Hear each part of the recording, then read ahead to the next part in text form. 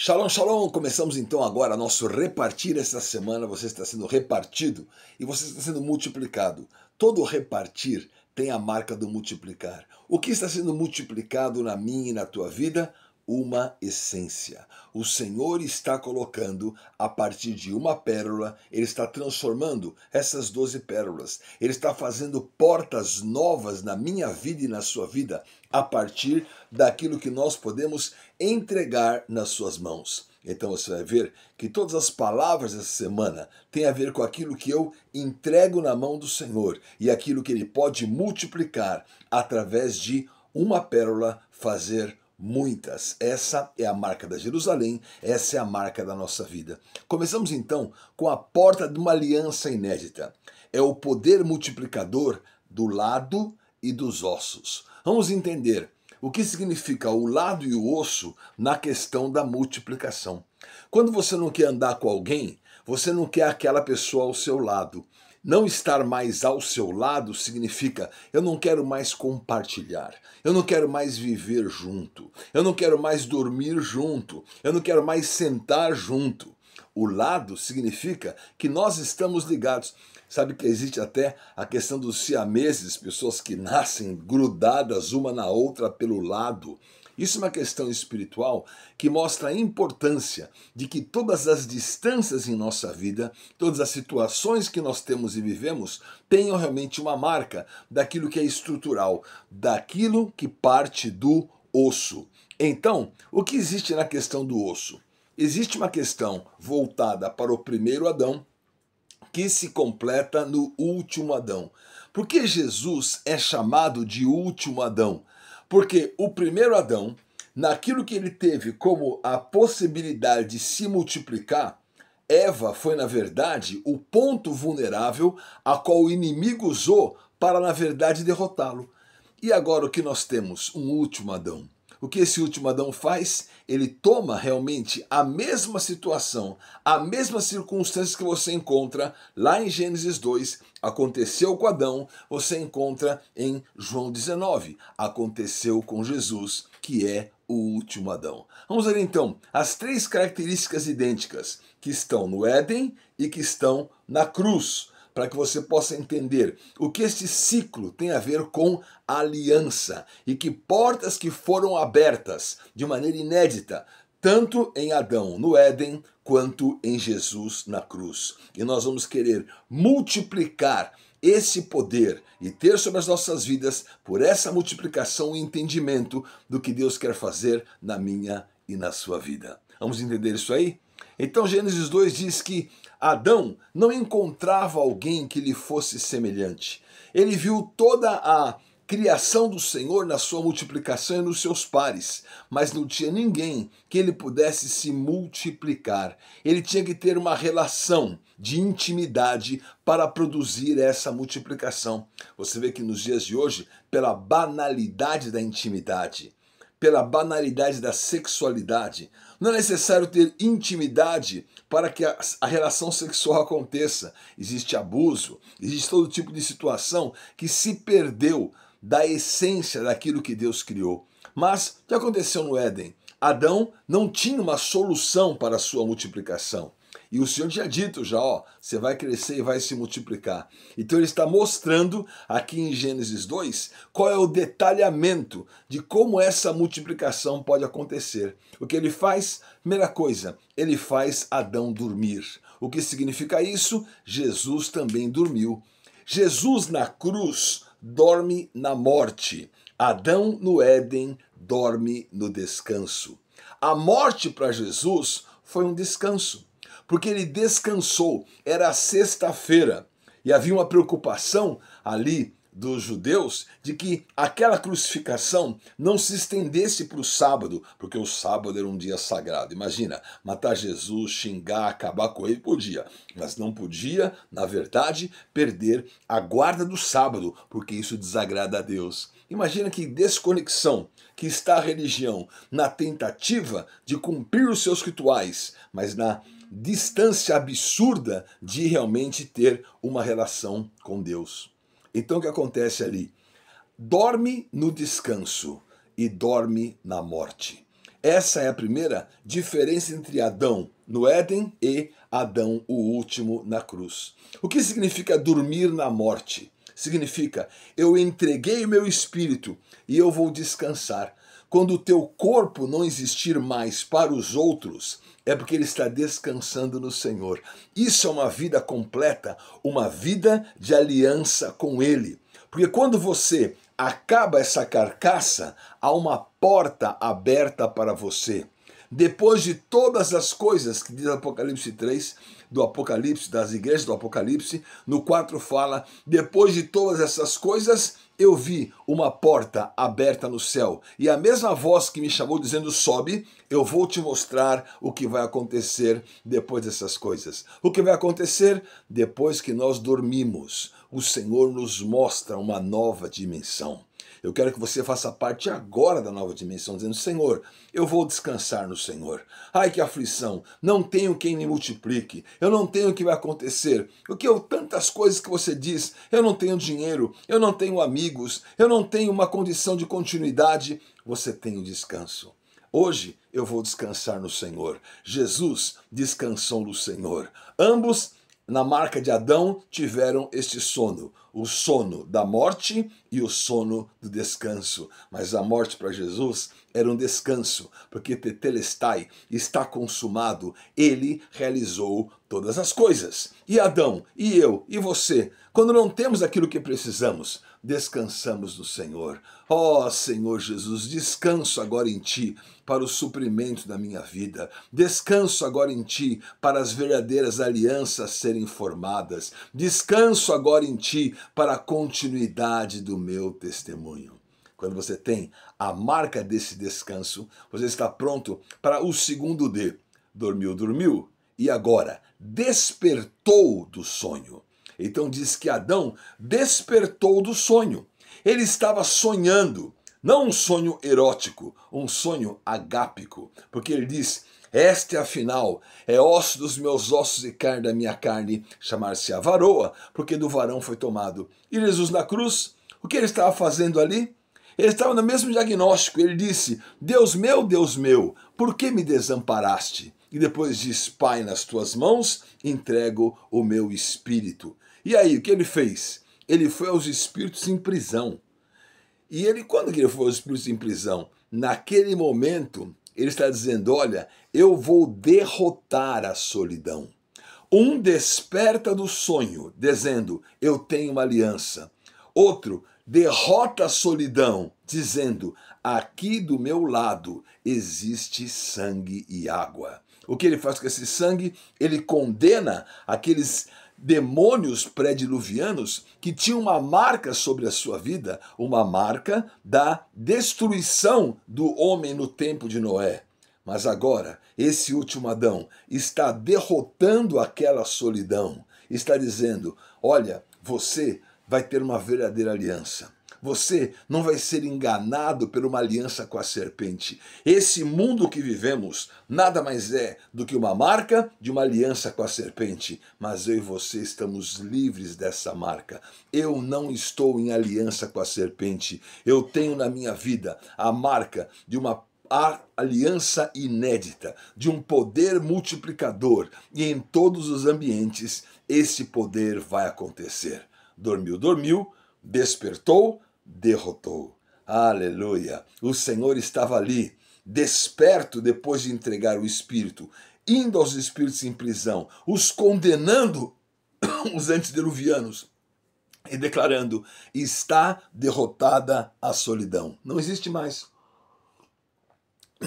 Desculpe. Quando você entende que a solidão foi derrotada, você nunca vai dizer: eu não tenho ninguém na minha vida, eu estou sozinho, eu estou abandonado. Não eu estou derrotando esta solidão, porque eu estou, na verdade, declarando uma realidade, é o terceiro D, e destruindo o império da morte.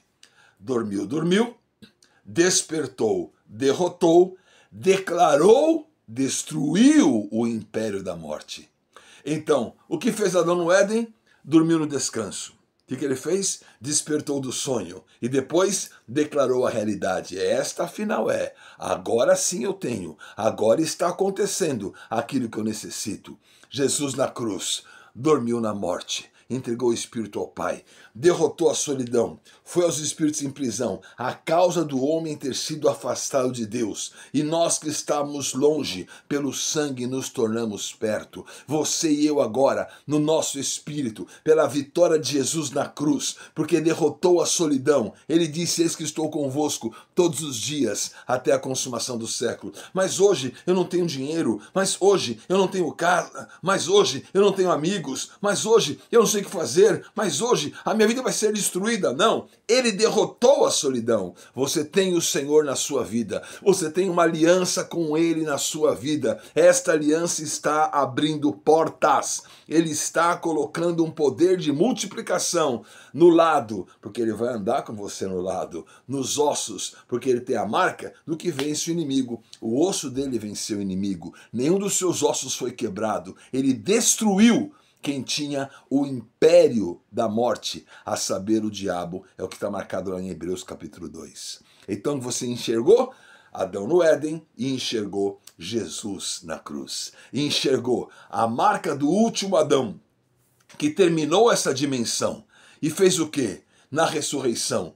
Na ressurreição, ele estava, na verdade, marcado com aquele que ele iria agora andar junto, andar ao lado, andar perto, e você e eu, porque temos esta aliança, temos a presença dele. De repente, é a presença dele que estava ali. Ele está agora aqui.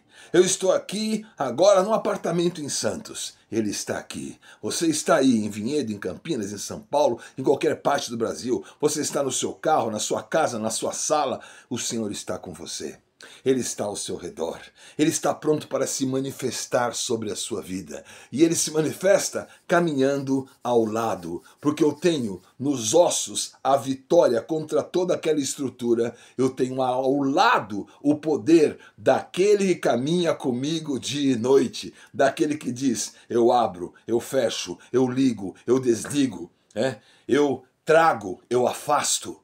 Todas as coisas é o Senhor em nossa vida e por isso você vai viver hoje a marca poderosa daquilo que Ele está declarando como realidade para cada um de nós. Por isso, ele caminhou ao lado de quem? De Maria Madalena. Maria Madalena foi ali tentar ver um corpo morto. Mas agora a nossa aliança não é com um corpo morto. A nossa aliança é inédita, é um poder de multiplicação. Do seu lado, ele está caminhando dizendo: Maria, ou Maria. E quando declarou o nome dela, ela ficou: Senhor, ele disse: Não me toques. Mas jogou uma semente em cima dela. Qual foi essa semente? Vá aos meus irmãos e anuncie a boa nova. Porque eu tenho uma aliança com você. Essa aliança, Maria, não está na morte. Essa aliança está porque eu conheço o seu nome e eu vou te dar agora uma boa notícia. Eu vou te dar agora o poder do evangelho. Eu vou te dar agora uma aliança multiplicadora. Espalha essa notícia. Jesus está vivo pelos séculos dos séculos. Eu vou adiante vós na Galileia. Ele estava já anunciando que ele estaria na Galileia para encontrar com os discípulos incrédulos que tinham ido pescar, estavam ali naquela condição de isolamento, mas nunca mais você vai ficar sozinho, porque ele derrotou na morte o poder da solidão e o poder de Satanás foi destruído. O império da morte foi completamente aniquilado. Obrigado, Senhor, por andar junto conosco. Nós estamos juntos com ele. Ele está junto conosco. Ele conhece o seu nome. Ele está chamando o seu nome agora e ele está te dando uma tarefa anuncie e espalhe essa boa notícia. Jesus ressuscitou. Espalha essa boa notícia. Por onde quer que você vá, espalha essa boa notícia, porque Jesus ressuscitou. Eu tenho uma aliança com você. Por isso, ele vai caminhar ao seu lado. Ele caminhou ali com Maria Madalena, chamando ela pelo nome. Ele caminhou com os discípulos que estavam no caminho de Emaús, lançando sementes, lançando palavras, tirando aquelas pessoas daquela falsa condição. Porque se você tem um diagnóstico errado, não tem remédio bom para você. Eles estavam dizendo: puxa vida, eu acreditei em Jesus e agora ele morreu, está tudo acabado. E Jesus aparece ao lado, porque do seu lado tem uma aliança, no seu osso tem uma essência, ele tem uma porta inédita para você, ele está cumprindo com essa porta agora sobre a sua vida. Ele começou a questionar.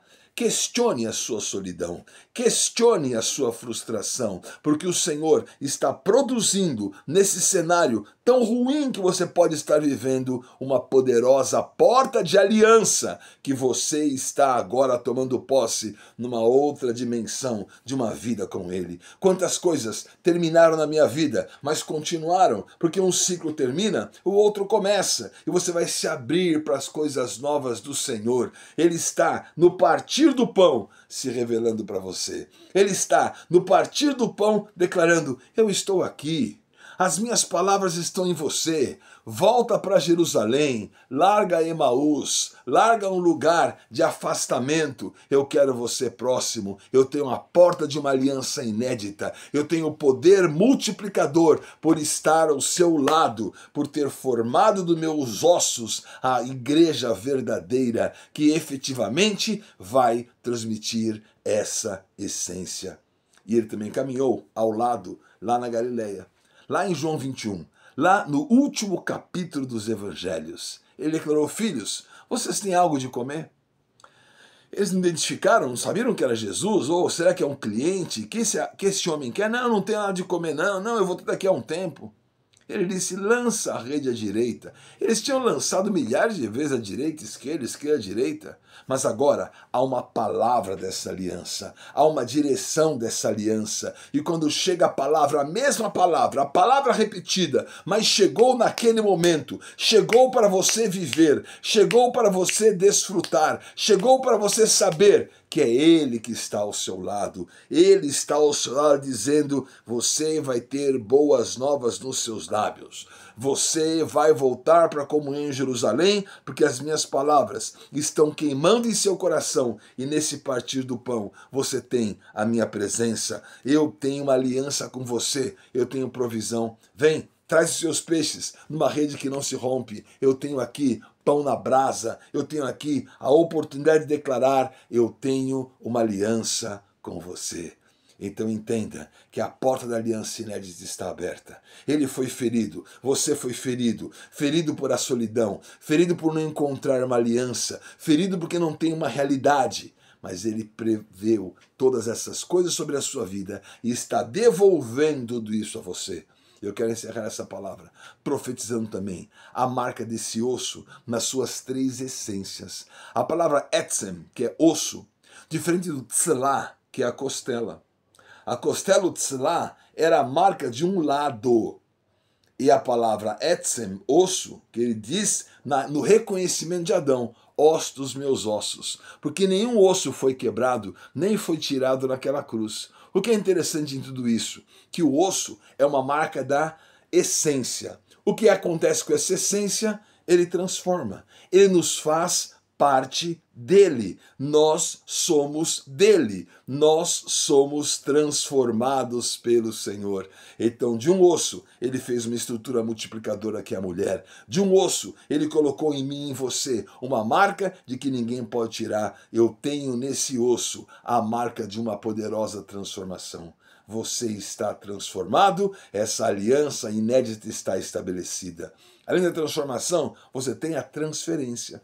Lá no Vale de Ossos Secos, eles profetizaram. Quando ele profetizou, o que aconteceu? transferiu a palavra, aquilo impregnou no osso e aquele osso reagiu. Você vai reagir agora à palavra que está sendo impregnada em você. Existe transformação, porque existe transferência. De repente, o cristianismo faz os seus cultos e reuniões anos, anos e anos e não acontece transformação porque não há a transferência, mas na transformação de uma essência, há a essência de uma transferência. Você está ouvindo essa palavra e o espírito e vida que estão nos meus lábios estão transferindo para você e você está recebendo uma aliança inédita, o poder multiplicador. Você está vivendo a marca do Senhor, porque a essência transforma, porque a essência transfere. E a essência, o terceiro T, ela é transitória. Por que é transitória aqui? Eu transformei, eu transferi e eu tenho transitoriedade, porque o verdadeiro tabernáculo é aquele no espírito. Então, não terá essa aparência. Na ressurreição, teremos outra dimensão que nós estamos vivendo. Teremos a marca desse novo tabernáculo. Por isso, você tem o poder multiplicador. Nós seremos multiplicados num único tabernáculo. Todas essas partes formam um único tabernáculo, aonde o Senhor diz: Agora eu estou presente no homem, agora eu estou pronto para que essa aliança indissolúvel de uma vida indestrutível seja a marca minha e sua para sempre. Que o Senhor seja com o seu espírito. Você vai agora entregar a tua oferta ao Senhor. Você vai derramar agora gratidão pela aliança que ele formou com você. Nossos dados estão aí. Chave Pix, ajude, entregue, derrame. O Senhor tem muito mais para as nossas vidas. Tem para mim e tem para você igrejavinhedo@gmail.com e também o celular 199 9173 9765. Você está preparado para entregar ao Senhor aquilo que lhe pertence e da sua vida, da sua parte, como último Adão. Vou viver esse descanso por aquele que derrotou e destruiu. Vai caminhar do meu lado, vai me transferir, me transformar numa essência transitória e que um dia será eterna o teu tabernáculo. Que o Senhor seja com o seu espírito. Valeu demais. Shalom Adonai. Aleluia, Senhor Jesus, nós te rendemos graças nesse dia, Senhor. Nessa manhã, nessa segunda-feira de fundamento inabalável, queremos declarar que tu és o nosso querido Senhor e te pedimos para que o Senhor venha nos tirar, Senhor, de tudo mais, vem nos apartar. Senhor, Ainda que o mundo às vezes parece vencer, parece nos vencer, ainda que o pecado e as preocupações existam em mim e ao meu redor, ao redor da tua igreja, Senhor, mas estamos aqui posicionados, decididos, definidos no nosso espírito, em nosso homem interior, a te entregar o nosso coração, a consagrar-nos a Ti a cada dia, a cada manhã, decididos desfrutar da Tua pessoa, rica, maravilhosa e desfrutável. Olha para a Tua igreja, Senhor, os Teus olhos estão sobre a Tua igreja que se reúne em cada localidade, que se reúne em cada cidade. Estamos unidos com aqueles que de coração puro invocam o nome do Senhor e declaramos que o Senhor é Espírito e nós estamos unidos ao Senhor, porque aquele que se une ao Senhor é um só espírito com ele. Graças nós te damos, porque o caminho que nos leva ao Pai é a pessoa de Jesus Cristo. Esse caminho nos foi aberto. Essa realidade é transcendente. Essa realidade é imanente, essa realidade é o que nos enche. Aleluia! Senhor Jesus Cristo, nós declaramos que em Ti, Senhor, nós desejamos habitar, em Ti nós desejamos estar, queremos estar contigo, porque aquele que se une ao Senhor é um só Espírito com Ele. Aleluia, Senhor. Nós temos essa confiança, temos essa, essa convicção, nós cremos que somente quando estamos em Ti é que existe plena paz em nosso espírito, ainda que conforme o Senhor Jesus nos deixou bem claro que no mundo nós teríamos aflições, mas para que nós tenhamos bom ânimo, porque o Senhor de fato venceu o mundo, estamos em Ti essa realidade é o que nos dá de fato verdadeira esperança. A esperança, Senhor, é aquilo que não nos decepciona. Ao sermos provados em nosso caráter, nós somos aprovados pelo Senhor. Aleluia, Senhor, porque ainda quando todas as coisas ao redor vierem a desabar, a tua palavra permanece eternamente, Senhor. Aleluia. Ainda que as, situações sejam como nós planejamos ou não, o importante para nós, Senhor, que essa seja a nossa primícia, que essa seja o nosso grau mais elevado de importância e de essencialidade. Ganharmos a Ti, Senhor, ganharmos a Ti é o primordial, ganharmos a Ti é o primordial, nos dá essa convicção, que não sejamos roubados no dia de hoje por tudo aquilo que é trans transitório, por tudo aquilo que é passageiro. Desejamos estar conectados a Ti em nosso espírito a cada dia desfrutando do Senhor, que é de fato esse bom pastor, que nos apacenta e que nos cuida. Senhor Jesus, estamos reunidos, estamos reunidos e recebemos de Ti essa revelação de que a paz está conosco, de que a paz que excede todo entendimento humano é o que nos enche, é o que nos faz transbordar, é o que de fato nos preenche essa realidade que é santa, justa e boa. Somos povo escolhido do Senhor. O Senhor é aquele que é a nossa salvação e o Senhor nos tem colocado como muros e baluartes. Somos aqueles que protegem a igreja do Senhor. Somos a igreja do Deus vivo, baluarte pedra viva, estamos fundamentados, firmados na realidade da pessoa de Jesus Cristo. Estamos vivendo a realidade dessa semana, da pérola coletiva, Senhor. Nós somos essas portas e nós compomos uma única pérola, a realidade do Deus vivo expressa e representada em nós, Senhor. Graças nós te damos, pedimos para que o Senhor nos faça mesmo, Senhor Jesus, estarmos conectados, não sendo roubados nem distraídos, mas que todos os dispositivos eletrônicos existentes não venham para nos roubar, mas que nós venhamos com sabedoria, com astúcia e simplicidade, utilizar cada um deles para cumprimento do teu propósito. Nos conserva, Senhor, em perfeita paz, porque o teu propósito é firme. Nós confiamos em ti e te rendemos graças no dia que se chama hoje. Somos a tua igreja, estamos sendo conformados ao teu sofrimento como mulheres, fomos criados mesmo, tirados da costela de Adão, a mulher foi feita, e nós somos de fato aquelas que são chamadas varoas, porque do varão foi tomado.